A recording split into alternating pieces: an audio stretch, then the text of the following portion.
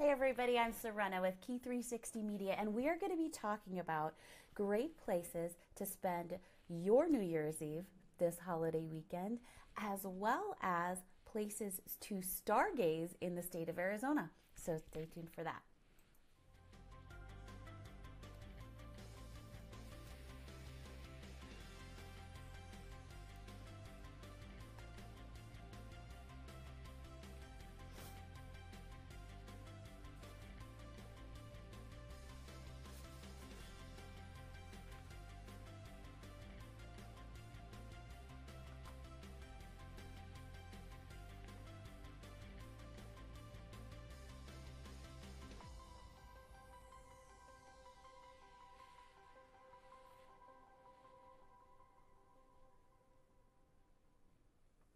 Hey guys, I'm Serena. Thank you so much for tuning into our live stream today.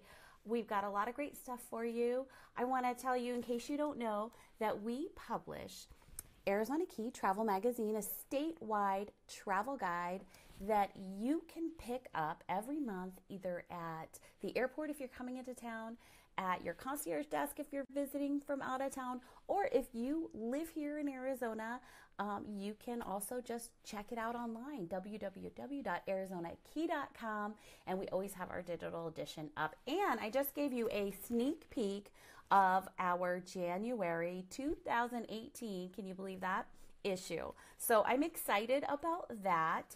And um, we're going to be talking about some fun things today. We're going to talk about we're going to talk about stargazing in Arizona and the very best places to see the most. So we're going to be talking about that. We're going to be talking about different places you can celebrate New Year's. For example, up in Prescott, they drop the boot, so that's a good one we'll be talking about. Um, out at Harold's Corral, Corral they do um, a really fun evening of live entertainment and food, fun, music um, out there in Cave Creek, so that's another good one to check out. And then all across Arizona, I'm going to handpick a couple items that you might be interested in, as well as our reminders for this weekend. So that's what we're going to be talking about. I hope you will comment in and tell me about your experience and the fun that you have here in our state. Um, also, if you want to comment in, then you will actually get a reminder. All you have to do is comment key, K E Y, in the comment line and we will send you an automatic reminder when we're going live. And we do it every Thursday at 11 to give you um, some great ideas for weekend fun planning like that. So let's get started. The first thing on my list is stargazing in Arizona. And did you guys know that there is actually something called um, a Dark Sky Association? And it's an organization that is um, addressing light pollution on a global level. And there are some areas, as you probably know, that are, are really make it difficult to see the beautiful night sky. And here in Arizona, we're really lucky because of our landscape, we get a pretty good view. But I will tell you that I went up to Payson with friends and family uh, about two weeks ago, and they it was a it was a camp, and so they took us on a starlit hayride. And I have to tell you, it was so impressive to be able to clearly see the Milky Way and have that dome effect of, of just having that that night sky all around you. So I wanted to tell you that in our January issue, we did a whole article about stargazing and we have great tips on the best ways to see the night sky in Arizona and the best places to to see them. So you can check out that article, um, or uh, just to kind of give you a heads up and some great ideas, you can go to, of course, Flagstaff and Sedona, as well as the village of Oak Creek. They are actually certified as dark sky communities because of their commitment to um, limiting light pollution. And that just gives you a great opportunity to see a beautiful starry night sky. Um, but one other way you can do it, and this is right here um, in the Phoenix metro area, is Stellar Adventures. And we actually had Stellar Adventures on our show last week. We had JJ Bryle, the um, the chief adventurer at Stellar. And I had him on the show, and we were talking about all the different kinds of adventure tours they do because they do. Um, all terrain vehicle tours. So, ATVs, UTVs, Hummers, Blazers, all these kinds of different ways to go on adventures out in the Sonoran Desert. Well, one of the really kind of interesting things that they do, and I didn't get a chance to talk to them more fully about it last week, but they do a specific stargazing tour where they take you out in a blazer into the desert at 7 p.m. You get to meet an astronomer out there with a high powered telescope and you get to look up at the beautiful Arizona sky surrounded by the Sonoran Desert.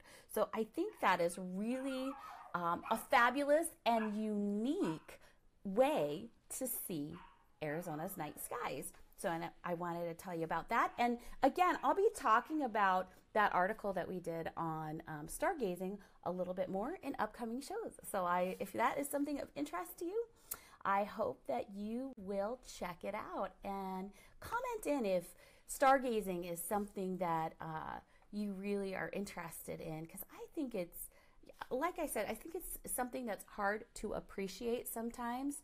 Um, we don't even think about looking up sometimes, but when you get those opportunities, either to go out there in the desert or out on a starlit hayride like I did a couple weeks ago, you really have an appreciation for the beautiful night sky that we get to see. All right, so the next thing on my list is some ideas for you on how you are going to spend your New Year's weekend. So let me see if I have anybody commenting in. If you you have some plans this weekend on how you're going to ring in 2018, let me know. I want to hear about it. Um, and let's see, I will give you some ideas as well. For one thing, you can go up to Prescott and from 8 p.m. to 12:30 a.m. in 2018, they have a fun family-friendly event up there where they actually drop a boot because after all it is Arizona and they do this in historic Whiskey Row right there in downtown Prescott and they this is i think the sixth year that they've been doing it and it's kind of fitting a little a lit up cowboy boot comes down um, over whiskey row and they actually do it at 10 p.m and at midnight and there's giveaways food live music and fireworks. So that's absolutely a fun one you should check out. Um, another option for your new year's eve celebration would be to hang out at Harold's Corral. This is a saloon. It's an Old West saloon. It's been around for, I think, 80 plus years. They can seat about 600 people inside and 200 people outside. So it is a big party. They have a stage, a dance floor. They bring in um, live music, and they're really known as being an original Wild West saloon. So if you want that Southwestern flavor when you're ringing in the new year, that is a great place to do it because they're really a legendary local landmark and um, they have great food too. So it's a fun place to be. I think that, let's see, their special there is $65 a person for dinner, champagne toast at midnight. You get a midnight breakfast buffet, party favors, and a photo, photo booth. And that's just $65 plus tax and tip. So that's a good option. Or if you just want to come for the after party after 10 p.m., it's just a $5 cover charge. So check that one out and let me know how you like it. All right. So, what else do I want to tell you about? Okay. So, I want to tell you also just, I want to give you just some kind of ideas from here and there and everywhere, um, all across our state, some different things because I don't know where you're tuning in from, but um, you could, if you're in the Scottsdale area, you might want to check out the Arab Horse Farm Tour. Um, they do from December 29th through Monday, January 1st. They will have 10 farms throughout North Scottsdale that open, throughout North Scottsdale, I should say, that they open their doors to um, families and any kind of horse enthusiast any kind of animal lover. So if you, your kids love horses, this is kind of a fun thing to do. Um, also in Tucson, the Dinner Detective Murder Mystery show is going on and on December 30th at 6 p.m. That's the Hilton Tucson East And your tickets include a lot of fun stuff, prizes, and, and all kinds of things. So you should check that one out. In Williams, there is Wild Wonderland at Bearizona, and that is going on still only until the 30th. So if you're up that way, don't forget we have that 50% off coupon on our website, www.arizonakey.com, and you'll look for that Bearizona coupon and it's 50% off. So check that out. And then out in Kingman, they do a 16th annual polar bear plunge. So this is Arizona's idea of a polar bear plunge, okay? Um, that is Monday, January 1st at 12 p.m., the Centennial Pool. Uh, and that, that should be kind of fun in Kingman. If you are a brave sort of soul in that way, you might want to check that out. So I see Elliot commenting. He says Prescott New Year's boot drop rivals Times Square. Awesome. I want to see that for myself one of these days.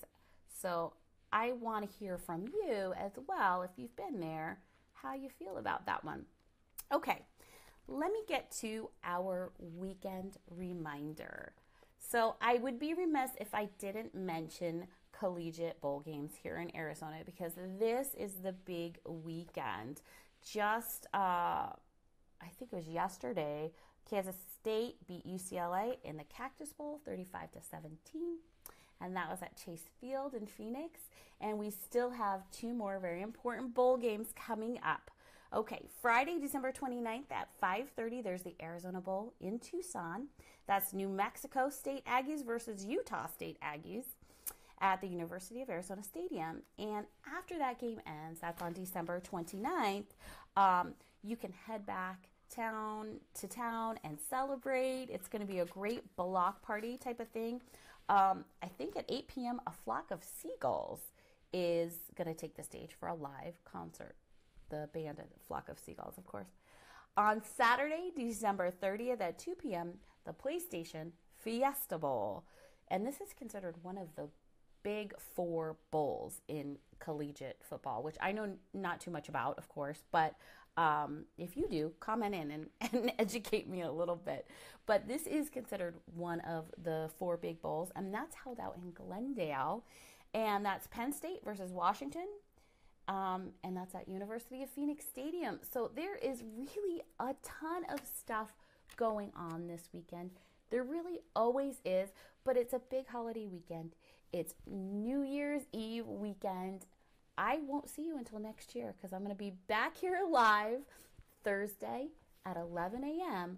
But, um, you know, I hope you'll come back next year um, and tell us how you rang in 2018, how you celebrated here in Arizona. And um, I'd love for you to continue commenting in. Remember, if you comment in key, even after the fact, if you comment in K E Y, we will send you a reminder so you can join us live next week. Thanks so much. Have a happy new year. We'll see you then.